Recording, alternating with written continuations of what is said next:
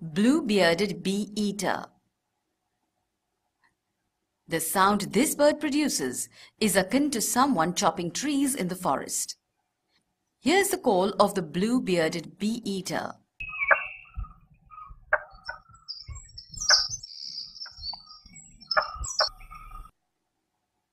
It is the largest bird among all other bee-eaters found in the Western Ghats. Evergreen forests in the hilly regions and semi-deciduous forests are its dwellings. While roosting on top of a tree, the bird catches dragonflies, honeybees, and drones in the air.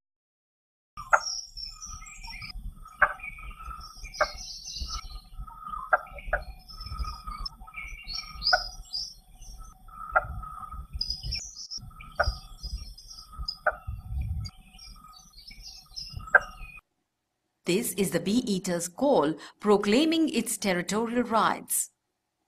We can hear it far and wide. Although it spends most of its life in the canopy of high trees, the bee-eater digs a hole in the ground to use it as its nest.